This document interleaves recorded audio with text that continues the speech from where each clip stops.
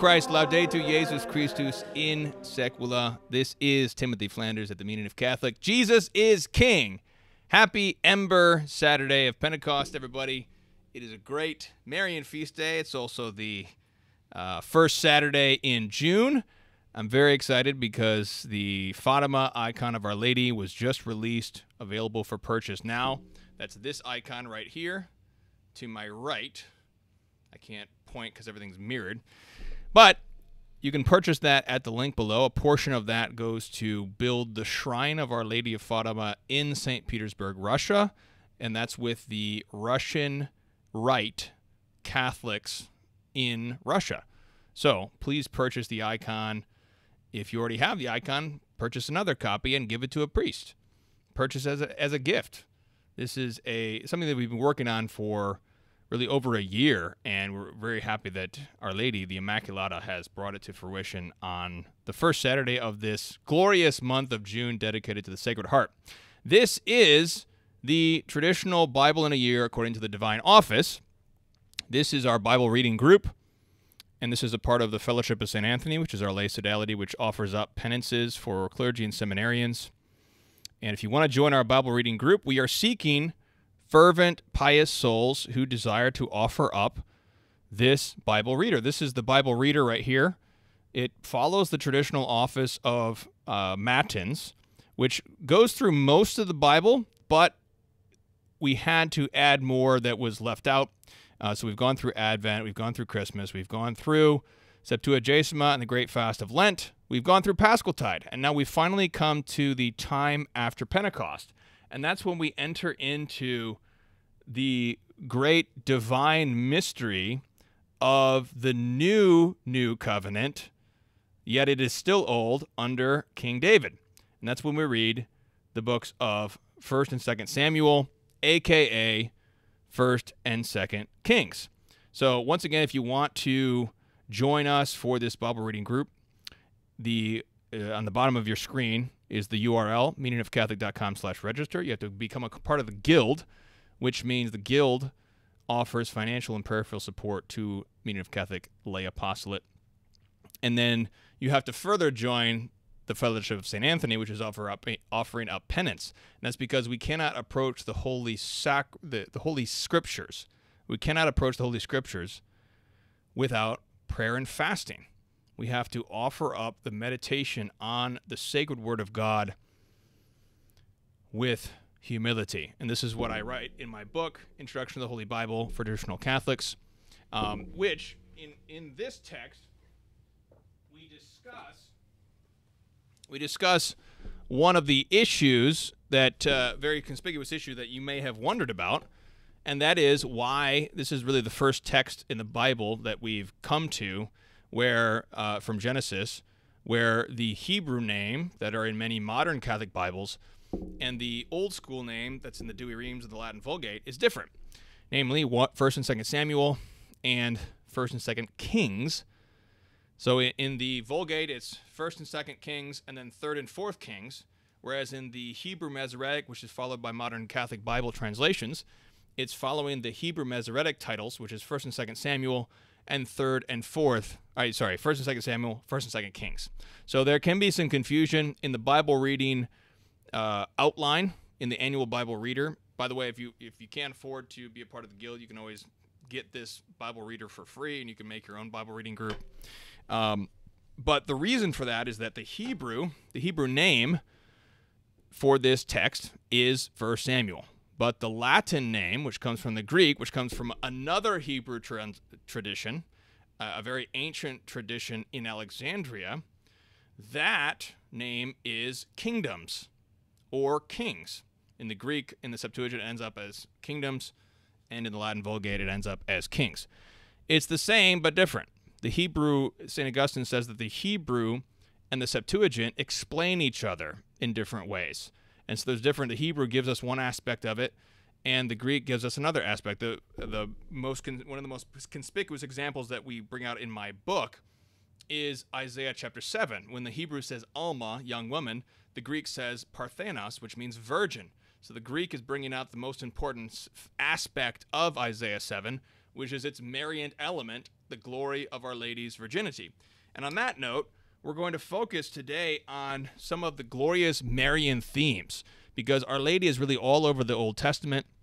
We see this especially in the book of Revelation, which is really the most glorious exposition uh, yet of, of the Old Testament.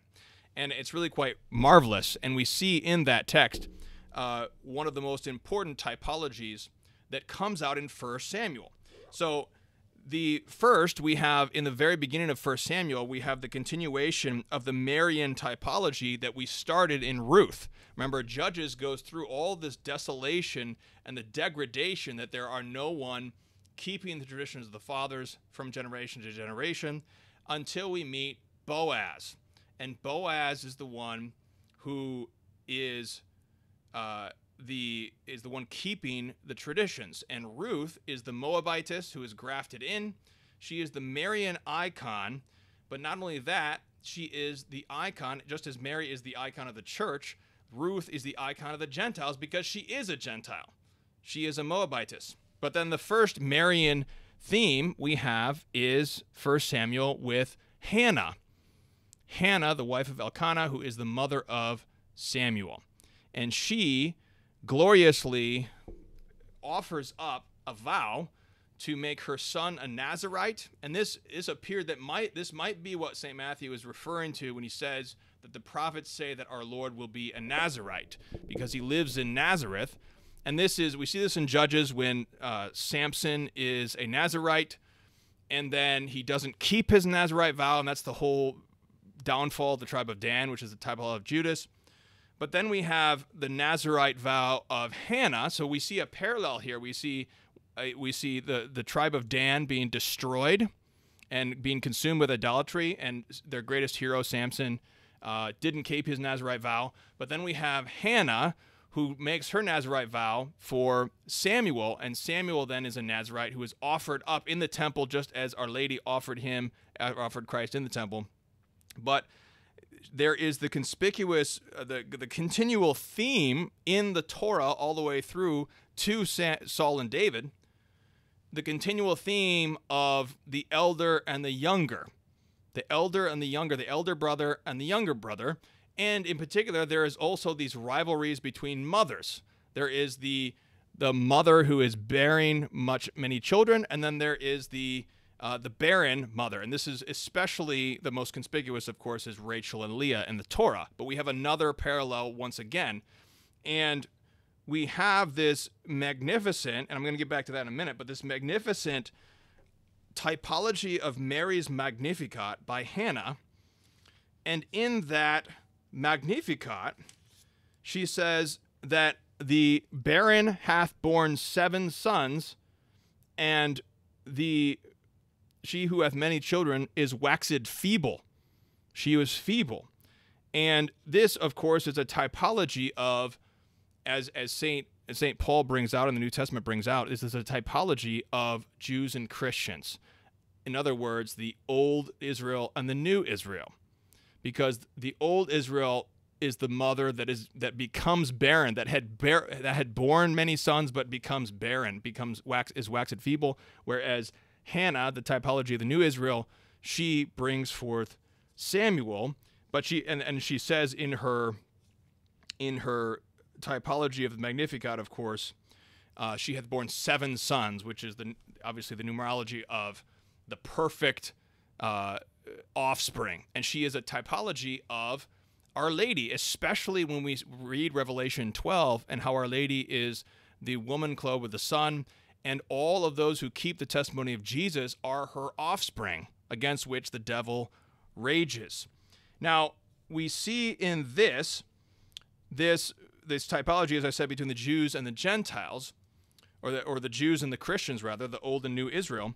And this is brought out powerfully and beautifully and movingly in a new text by Father James Mawdsley. If you believed Moses, the conversion of the Jews promised in the Torah. This text is one of my favorite books of all time at this point. It, it's really this incredible theological exposition of the doctrine of the church that the Jews will convert in the end times. And Father James Mawdsley is releasing volume one of this text later this month, God willing. And I really encourage you, especially the Bible reading group, to pick up this text and read through it because it is really quite an amazing text. And he brings out Saul and David. And I'm going to get back to that in a minute. But first, let me get back to the Marian theme because almost immediately we have this amazing Marian typology in First Samuel because we have the tabernacle. And we know from Revelation 11 that the tabernacle is Our Lady. The very last verse of, of chapter 11, before the woman clothed with the sun is revealed in Revelation 12, is that I saw the temple of the Lord and the tabernacle. And so we know that the tabernacle is Mary. And because the because the tabernacle holds the word of God, it holds the 10 commandments. And we see here how powerful Mary is in First Samuel because they the Philistines take the tabernacle and the tabernacle is brought to their their demon god Dagon and it just just the tabernacle just destroys Dagon and the Philistines are, are finally like we have to just get this thing out of here because it's just destroying us and in particular, we have the typology of the visitation, where Mary goes and stays with Elizabeth for three months, in the same way the tabernacle stays with uh, a visitor for three months. And we also have David in his joy towards Mary. We have David rejoicing at the tabernacle of the Lord. This is the famous passage where David dances before the Lord. He dances for joy. And and then we have his wife, who is the daughter of Saul. Again, a typology because Saul, Saul is the typology of the old Israel. David is the typology of the new Israel. We, we could also mention the um, the priesthood of Eli is also a typology of the old Israel, which is replaced by Samuel. We have Shiloh, uh, the the tabernacle at Shiloh, which has replaced the, the, temple because it's the son of David, a covenant lasting forever. We have so many old and new typologies coming out.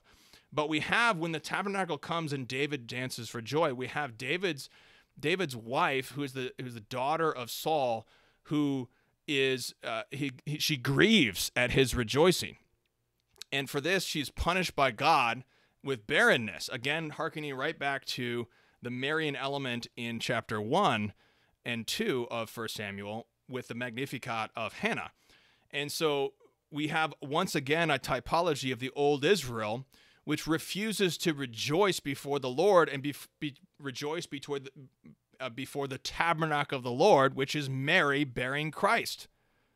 And so Mary is bearing Christ, the typology of, of the tabernacle coming to Jerusalem is fulfilled when Mary and Joseph bring the child Jesus to the temple. And who rejoices in the temple? Hannah, we have Anna, the prophetess Anna, who's of the tribe of Aser, which is very fascinating because it's one of these lost tribes uh, adhering to the Jews, which is Judah, Benjamin, and Levi. So we have Hannah. So this is already harkening right back to the old Hannah. And then we also have Simeon. So we have this rejoicing, and they are the typology of the new Israel, which is fulfilling the rejoicing of David uh, dancing before the tabernacle. But if we have this this punishment from the Lord with this tabernacle, how much more should we should we venerate and love our mother? And this is unfortunately a, another type, a typology of the Protestant heretics who who who refuse to rejoice over Mary. They are the ones who refuse to rejoice over their own mother. If they are truly in Christ, if they truly love Jesus, they should love his mother because they should desire to follow the fourth commandment honor your father and mother. But they they grieve to re, to honor their own mother. And this is a, a great sin a great sin against our lady. And that's why we give reparation to our lady with the five first saturdays of which one of them is today so we need to offer reparation for our protestant uh, heretical separated brethren and, and and ask our lady to soften their hearts that, that they can rejoice as david rejoiced when david danced before the tabernacle so we must also rejoice in Our Lady, who brings forth seven sons in the sense of Christ and his church, the perfection of the new Israel. finally, I just want to touch on really this epic architectural moment because really we have the the entire architect one of the great themes of the holy scripture is architecture and the building of God's house. And the first building of God's house is the garden where man is the priest, prophet, priest and king with his wife, the queen, over the mother of all the living over this garden. And this is the whole cosmic temple of the world that God has created to commune with man. And so we have this temple that is being built to house the tabernacle. More typology of the church because the church is the temple. St. Paul says, You are the temple of God. The temple of God houses the tabernacle. And we see this fulfilled in Acts chapter 1 when the apostles were gathered at prayer with Mary. That is the fulfillment of the temple of David right there because the temple houses the tabernacle and the apostolic college and the early church houses the houses Mary. She they are gathered around Mary, and the icon of, of Pentecost shows this out, where Mary is in the center and all the all the apostles are around them.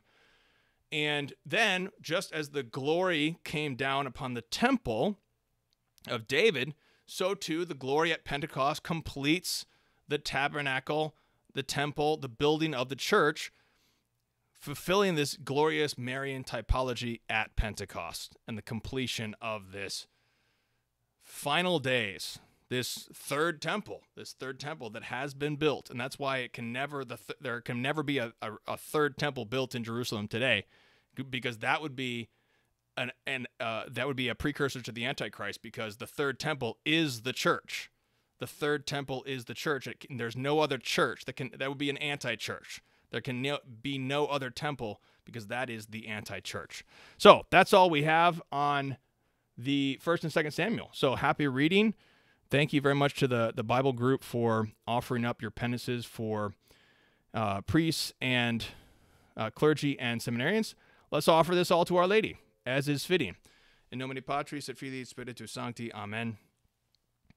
Ave Maria, gratia plena, Dominus tecum, benedicta tu mulieribus, et benedictus fructus ventris tui, Iesus. Santa Maria Mater Dei, ora pro nobis peccatoribus, nunc et in hora mortis nostrae. Amen. Our Lady of Victory, pray for us. Mary, Queen of the Home, pray for us. Saint Joseph, terror of demons, pray for us. Saint Anthony of the Desert, pray for all clergy and seminarians. In nomine Patris et Filii Spiritus Sancti. Amen. Jesus is King.